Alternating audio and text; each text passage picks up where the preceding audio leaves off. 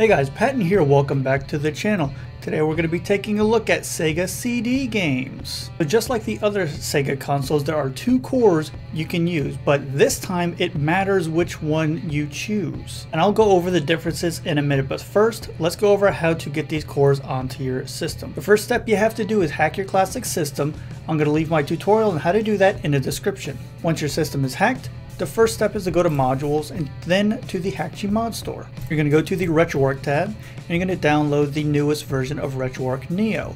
Just hit the button right here that says download module. Then you're going to go to the RetroArch cores tab. The two cores you can use are Genesis Plus GX and Pico Drive. To install those, you just make sure they're highlighted and once again hit the download module button. We're going to download both of those. You're going to close the mod store, go back into your modules tab, and then go to install extra modules. You're going to put a check mark next to RetroArch Neo if you haven't installed that already, Genesis Plus GX, and Pico Drive. Then you're going to hit this OK button, going to install those mods to your system. Also, CD games cannot be compressed like normal, so if this box right here is checked, the games will not work. You have to go to your settings tab. Make sure that the compress games when adding option is not checked or it's going to automatically compress them and they will not work. This is very, very important.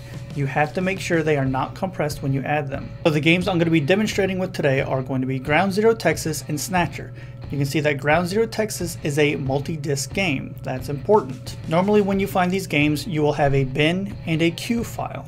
If you're using the Genesis Plus GX core, you can combine both of those files into what's called a CHD file. I'll have a program in my description called chdman.exe which will allow you to do that and it's actually very simple. We're going to copy the snatcher files and we're going to paste them into this folder with our chdman program. To combine them into one file you have to make sure that the cue file is reading the bin file correctly and to do that you need a program called Notepad++. What you need to do is right click your cue file, edit with Notepad++, and then you'll have this notepad file. What you need to do is make sure this information in the quotes matches the name right here. It doesn't match, so this isn't going to work. What I recommend you do is click on your bin file, highlight the whole thing, copy that text, go down here, and simply paste it into that spot so it matches the naming. Make sure you save it close out your notepad. Then we're going to double click this batch file. You'll know you did everything correctly if a little window pops up. This right here. So along with combining both of those files, it's also compressing them into a smaller file. Now this method again will only work with Genesis Plus GX. It will not work with Pico Drive. So if you have a normal one disk game that you want to compress to save space and you want to make it a little easier for you, you can use this method, but only with Genesis Plus GX. Okay, so that took about five or six minutes, but you can see here the CHD file is just about half the size it was originally. You're just going to take that CHD file and drag it over into your games window. It's going to be placed on the top of your list. You're to change your command line to Sega CD. So that's basically the benefit of using Genesis Plus GX for your Sega CD games. If you have games with multiple discs, you have to use Pico Drive. Genesis Plus GX doesn't have an option you need to switch the discs. So for a game like Ground Zero Texas or Night Trap, you have to use Pico Drive. You're also going to have to add them as separate games per disc. We're going to go to add more games and we're going to navigate to the folder where our discs are. You're going to add the cue file. You're always going to add the cue file if you're not combining the discs. So here we go. We'll add disk one. We'll close that window. So now we're going to add the bin file to this. Right click the game Show in Windows Explorer. This right here is the folder that Hakchi has made for your game. You're going to right click the bin file, copy it, then paste it into that folder that Hakchi made for your game. So again, we have to edit the cue file so it points to this bin file. Right click the cue file, edit with Notepad++. You have to make sure that this line right here matches exactly this line right here. It looks like it matches. It includes the extension, this dot bin. If this is all lowercase, it has to be lowercase here as well. Since that matches, we're gonna leave that alone. Now we're gonna add the second disk. So the cue file for the second disk, I'm gonna rename this disk 2 so I know which disk is which. Right click, show in Windows Explorer. We're going to take the disk two bin, copy it, paste it into that folder. Right click the cue file, edit with Notepad++, double check that the spelling and case is exactly the same. And you can close out of those folders and now we can find our box art. So just like with Snatcher, we have to change the command line right here. We're going to change that to Pico Drive for both disks.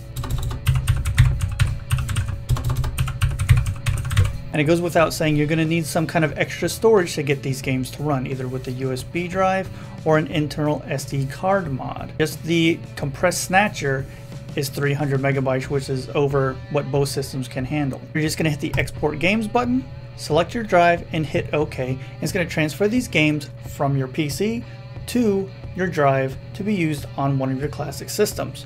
So let's head over there, take a look at these games. Alright, so Snatcher is up first. Remember, we're playing this one with Genesis Plus GX. That's a good sign. If this comes up, that means you pretty much did everything right. We're going to hit start.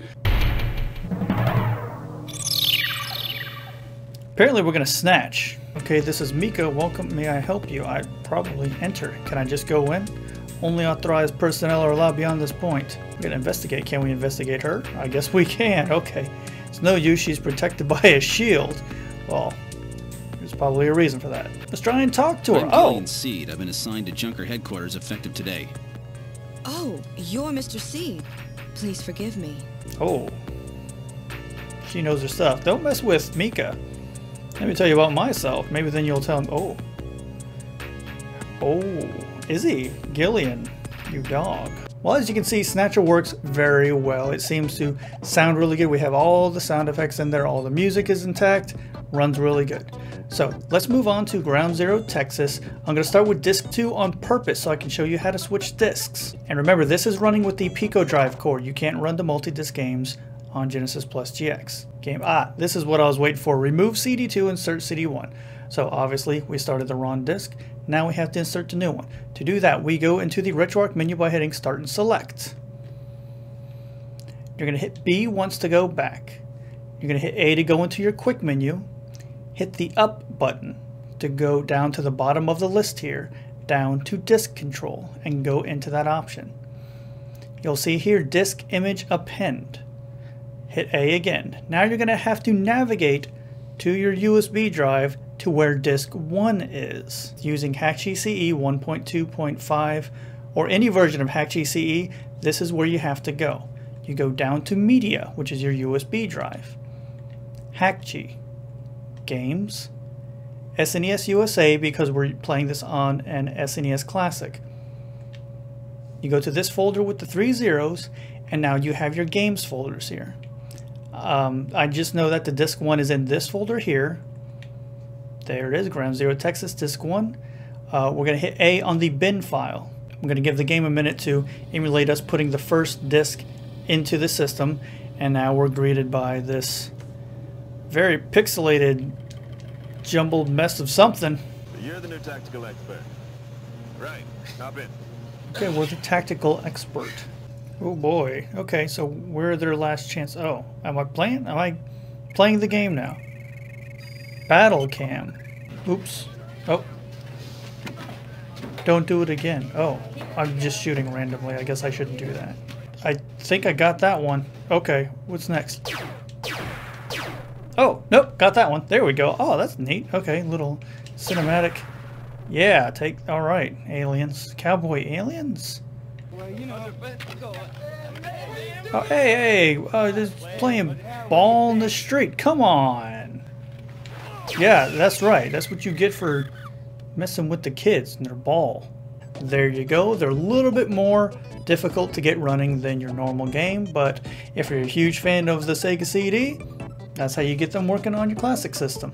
Make sure you keep coming back. I'm going to have a lot more things to show what you can do with your system. So thank you so much for watching, and I'll see you next time. Hey guys, if you want to contact me outside of YouTube, feel free to use any of these social media platforms. Also, while you're here, why don't you check out some of the other videos that I put out, and if you feel like it, subscribe to the channel.